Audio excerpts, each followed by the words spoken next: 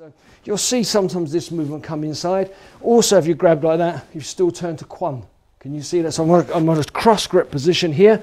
I can turn and now I can smash my shoulder, bok jang, into your elbow joint. Can you feel? Mm. So you hold me tight, I go like that. You feel that? It's not too difficult, is it? Look, here, this has gone to bonds. It just compromises it, makes him struggle. And then I could, oh, sorry, caught it. No, and you can hit the elbow joint.